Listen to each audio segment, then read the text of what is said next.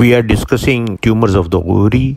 We have already discussed serous tumors of the ovary. They are benign mucinous tumors, borderline mucinous tumors, and malignant mucinous tumors. First of all, we are going to discuss benign mucinous tumors. These tumors are less common than serous tumors. They form about 75 to 85% of all mucinous tumors. The peak incidence is seen in 40 to 50 years of age. They are commonest epithelial tumors in pregnancy. They are rare before puberty and after menopause. Gross features they are bilateral in 5% of cases. They are large tumors, mucin filled, multilocular, having smooth external surface, and the inner lining is columnar. The gelatinous fluid which is present is rich in glycoproteins. Some of these tumors are recorded to be more than 30 kg of weight.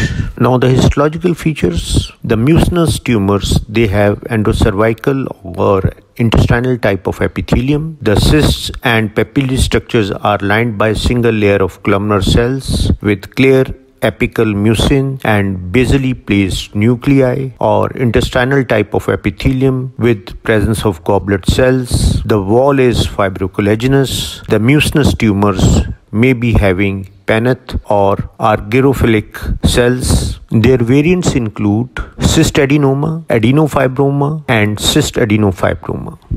Immunohistochemistry, they are PAS positive because of glycod protein present in the mucinous material, cytokeratin positivity in most of the cells which are present in the tumor. Now this photograph which is a gross uh, appearance of benign serous tumor show that it is multiloculated. The histological feature which is present in this photograph shows that it is lined by endocervical type of epithelium with basally placed nuclei.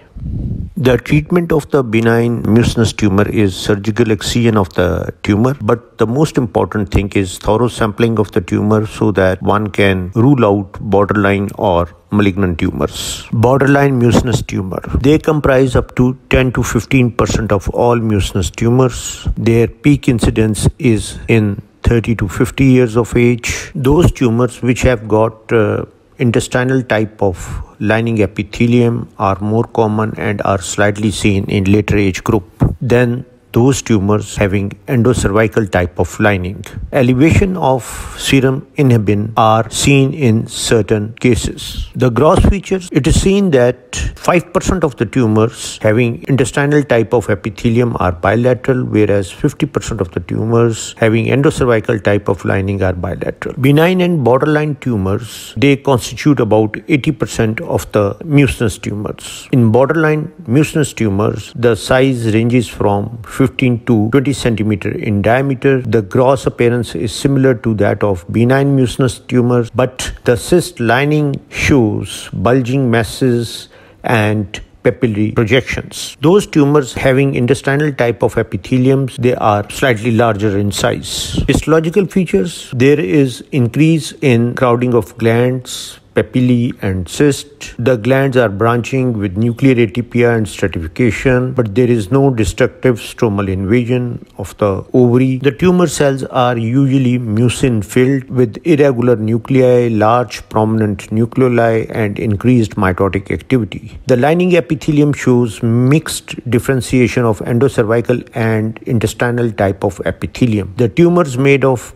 predominantly of endocervical type of cells are associated with infiltration by acute inflammatory cells. Foreign body giant cells they are present when cyst containing mucin are ruptured.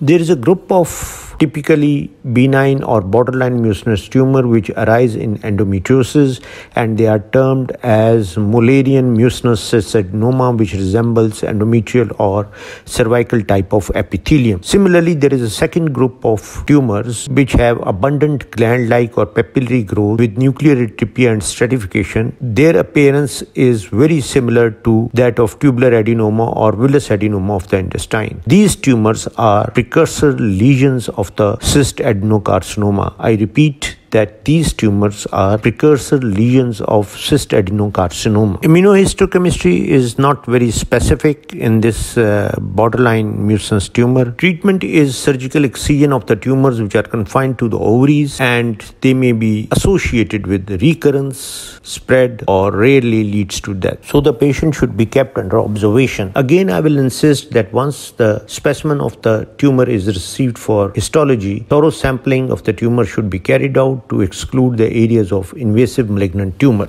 Now, the gross feature of borderline mucinous tumor show thick wall with a lot of papillae which are containing mucinous material. The histological features you can well appreciate that there are numerous papillary structures containing mucin and they are not infiltrating the ovarian stroma. Malignant mucinous tumors. They make up about 5 to 10% of all mucinous tumors. Their peak incidence is around 40 to 70 years of age. There are elevated levels of inhibin and CA125 in the serum. Regarding the gross pathology, they are bilateral in 15% of cases. They are in the form of cystic spaces mixed with solid masses and papillae. Sometimes the tumor is completely solid. There are areas of hemorrhage and necrosis. Histological features they consist of that the tumor is highly cellular, containing crowded glands. There are cyst formation, there are papillae,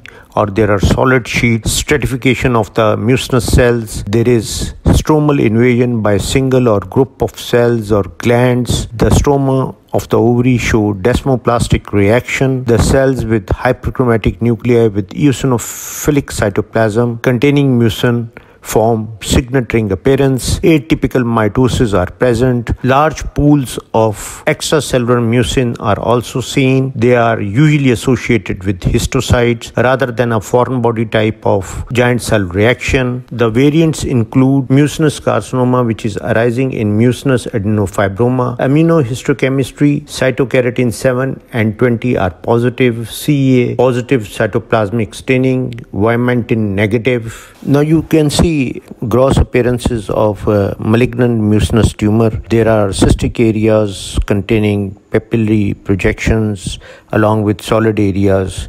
In addition, you can also appreciate areas of hemorrhage. Regarding the histological features, you can well appreciate that there are papillae structures or solid sheets of cells which are present in the pools of mucin. These solid group of tumor cells are infiltrating the ovarian stroma. Risk factors and molecular genetics. Smoking is one of the commonest risk factor. Mutation of KRAS proto-oncogene are seen in benign mucinous cyst adenomas in 50% of cases. 70 to 80% in borderline mucinous tumors and 85% in primary ovarian mucinous carcinomas. Treatment is surgery with chemotherapy depending on the stage and grade of the tumor. 5-year survival rate is present in 40% of cases. Recurrence often seen as mets in the lungs. Now there is a condition which is called Krukenberg tumor. They are metastatic tumors in ovaries. They are mucin secreting adenocarcinoma with signet